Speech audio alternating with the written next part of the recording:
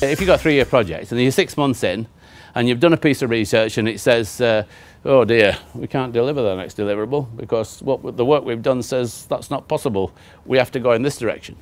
What you do is you go back to your project officer and explain the circumstances and offer him an alternative annex. And get that agreement. There's a little pro forma letter you fill in. That gets signed off.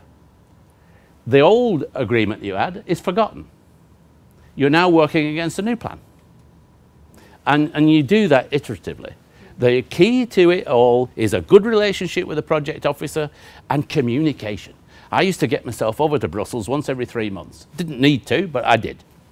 And we had lunch and I'd explain there might be an issue here and an issue there and can I fix it? Yeah, just get that letter into me and we'll sort it out, you know. Because they don't want to receive bad news, you see. You don't want to see surprises. So it's about working together with the Commission.